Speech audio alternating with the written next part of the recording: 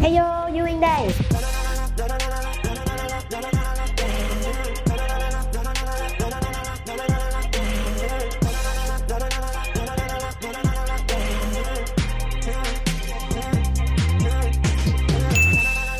Thì sau khi mà Duyên đã được trải nghiệm cái uh, gói làm tóc 899k tại salon tóc La Hè thì Duyên cảm thấy là rất là hài lòng nha các bạn. Các bạn nên ghé qua.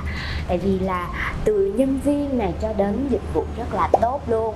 Các bạn nhân viên rất là nhiệt tình rất là đáng yêu nữa. Đặc biệt là sẽ giúp đỡ mình rất là nhiều thứ nữa. Khi mà Duyên vô đây thì với một mái tóc là rất là sơ và rối phải không? Thì bây giờ thì đã hoàn toàn tự tin với một ngoại hình mới, một mái tóc thiệt là ống ả nè, bồng bềnh nè. Và bây giờ thì có thể là tự tin sải bước đi sự kiện nè, rồi đi chụp hình nữa. Let's go! Năm sao nha?